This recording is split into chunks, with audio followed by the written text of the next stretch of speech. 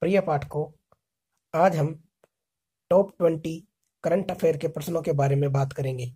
आइए जानते हैं, तेरह सितंबर 2018 को राजस्थान साहित्य अकादमी का मेरा पुरस्कार किसे प्रदान किए जाने की घोषणा की है? सवाई सिंह शेखावत। 12 सितंबर 2018 राज्य के किस जिला कलेक्टर को नरेगा में बेहतरीन कार्य करने के लिए राष्ट्रीय स्तर पर सम्मानित किया गया है?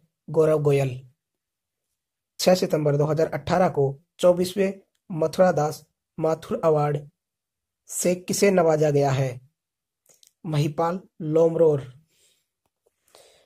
5 सितंबर 2018 को राष्ट्रीय शिक्षा दिवस पर राज्य के किन दो शिक्षकों को सम्मानित किया गया है। वो है श्री इमरान खान तथा सुमन जाखड़। 30 अगस्त 2018 को भारत निर्वाचन आयोग ने राजस्थान के मुख्य निर्वाचन अधिकारी के पद पर किसे मनोनीत किया था। वो है श्री आनंद कुमार। एक अगस्त 2018 को राजस्थान की किस धरोहर को यूनेस्को की विश्व धरोहर की सूची में शामिल करने के लिए प्रस्ताव भेजा गया है? वो है जयपुर का परकोटा। राजस्थान में प्रदेश का तीसरा होम्योपैथिक कॉलेज कहाँ खोला जाएगा? नायला, जयपुर में। राजस्थान के किस न्यायाधीश ने अगस्त 2018 में ओडिशा के उच्च न्यायालय में मुख्य न्यायाधीश की शपथ ली? वो है श्री न्यायमूर्ति कल्पेश सत्येंद्र झवेरी।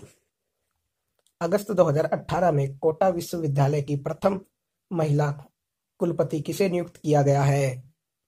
वो है श्रीमती प्रोफेसर नीलिमा सिंह।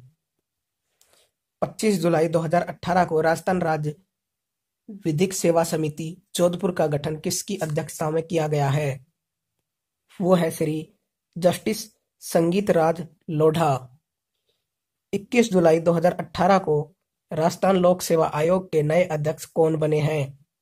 वो है श्री दीपक उर्पेती 8 जुलाई 2018 को संपन्न हुए राजस्थान राज्य बैडमिंटन संघ के चुनाव में अध्यक्ष निर्वाचित किया गया है।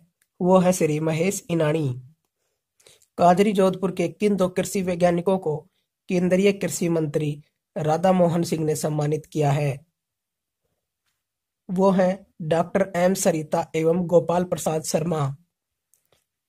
15 जून 2018 को राज्य के किस व्यक्ति को अमेरिका में लाइफ टाइम अचीवमेंट अवार्ड से सम्मानित किया गया है? वो है श्री डॉक्टर महेंद्र जैन।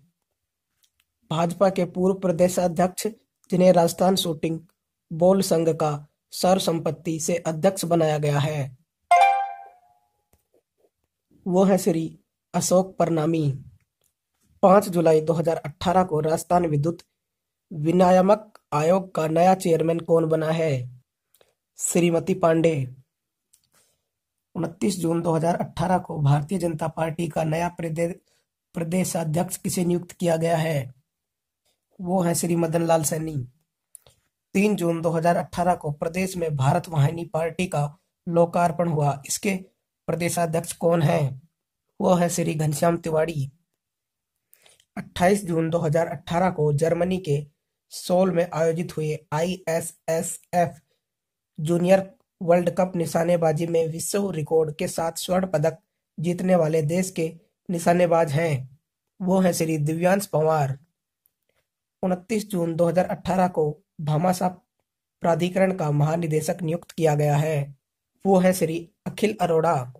ये थे करंट अफेयर के ट्वेंटी टॉप क्वेश्चन। आगे भी इसी प्रकार के करंट अफेयर के क्वेश्चन मिलते रहे। इसके लिए आप हमारे चैनल को सब्सक्राइब करें और बेल आइकन को ज़रूर दबाएँ ताकि आने वाली नोटिफिकेशन आपको मिलती रहे और इसे ज़्यादा से ज़्यादा इस वीडियो को शेयर करें ताकि सभी इसका लाभ उठा सकें। धन्यवाद।